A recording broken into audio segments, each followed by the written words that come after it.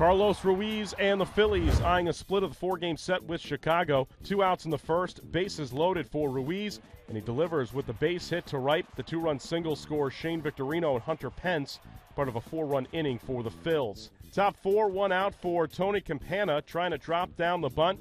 Placido Polanco makes a charge for it, finishes with a nice barehanded throw to get him out at first. Check it out again.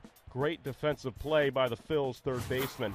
Move ahead to the seventh. Vance Worley still on the mound for Philadelphia. Chicago, though, threatening with the bases loaded and nobody out as Geovany Soto comes up with a grounder to third, picked up by Polanco, who steps on the bag, then throws to first for the double play. Alfonso Soriano scores, but Worley able to escape out of the jam with Philly on top 4 1. Bottom of the inning, Pence with the fly ball to right, and check out the great play by David DeJesus to make the catch at the wall. Another great defensive play here in this game. Top of the eighth, now a 4 2 lead for the Phillies. Chad Qualls facing Brian LaHair with a runner on. And see you later. The two run shot to right center, his fifth of the season, and we're tied up at four apiece. Bottom of the frame, Rafael Dolis in relief facing Polanco with two on and two out. Pitches line toward left field. Soriano's not going to get it. Piero score. Here comes J-Ro rounding third, heading for home.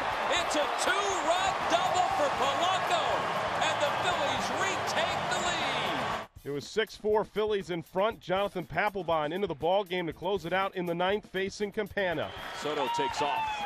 And a called strike three right down the chute. Campana goes down the Have won it six to four tonight with two runs in the bottom of the eighth inning.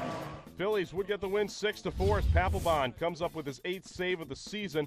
Polanco a two for five night with two RBIs in the win. Starter Vance Worley seven innings, allowing one run on five hits and striking out five for Philadelphia in the no decision. Philly, meanwhile, just a game below 500 at 11 and 12.